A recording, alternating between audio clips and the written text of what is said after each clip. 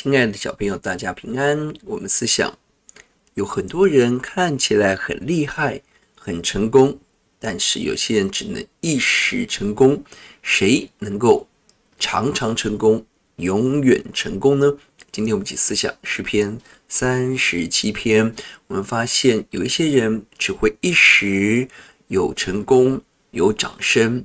他们好像什么？在圣经诗篇三十七篇提到了，这些人好像烟，快要消灭，短暂看起来顺利，但是一下子就烧完了。他们好像什么？三七篇第二节提到了，他们如草快被割下，又如青菜快要枯干，看起来很绿意盎然，但是一下子。就要枯干，它们好像什么？它们像青翠树，但是当人从那里经过，却找不到了。看起来似乎是树木，但却倒下来，却没有生命。这些一时的成功，关键在于没有上帝，失去永恒。地上一切的成就、掌声，都是何等的短暂。而神期待我们得着永恒的成功。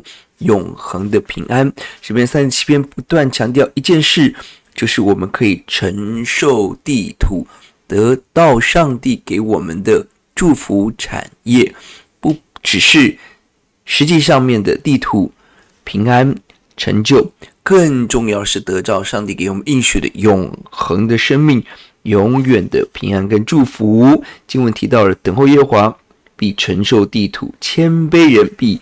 承受地土蒙耶华赐福的，必承受地土；一人必承受地土。等候耶华必承受地土。神期待要给我们一个美丽的应许之地，而这应许之地更充满了很大的喜乐。耶华为乐，神就将我们心中所求的赐给我们。在神里头有极大的喜乐，关键在。等候神，真正的福分在于我们认识神。经文提到了等候神，承受地土一人承受地土，等候耶和华，遵行他的道，神就抬举我们，期待我们人生选择专心的信靠，等候神。这样的要节在第四节、第五节，又要以耶和华为乐，他就将你心里所求的赐给你。当将你是交托耶和华，并依靠他。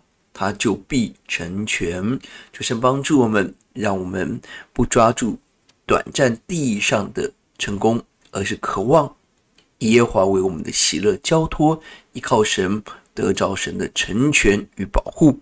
我们来祷告，主耶稣，我们谢谢你，你答应我们，当我们以神为乐，神要把我们心里所求的赐给我们，把我们的事，把我们的家交托耶华，依靠神，神为我们成就。一切的丰富，谢谢主，祷告仰望奉耶稣的名，阿门。